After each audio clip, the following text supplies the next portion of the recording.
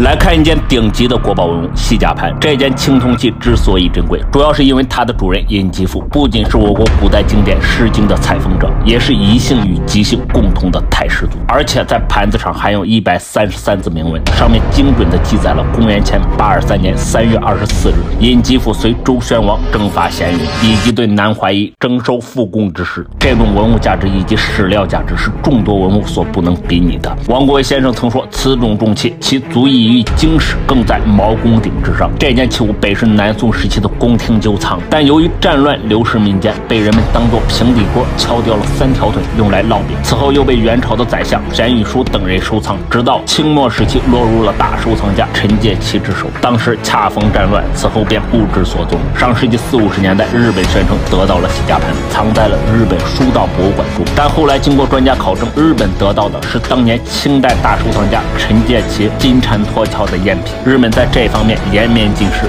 沦为笑柄。直到二零一零年，一位华人在美国的一家小型拍卖会中发现了西甲盘，只花费了数万块钱便成功购买回国。此后，在二零一七年西泠拍卖会中，以二点一亿的天价打破了当年古代艺术品拍卖记录，可谓创造了收藏界奇迹般的捡漏事件。但可惜的是，这件国宝级文物是被一位神秘的私人收藏家购买，我们已无法在博物馆中见到这件顶级的国宝级文物。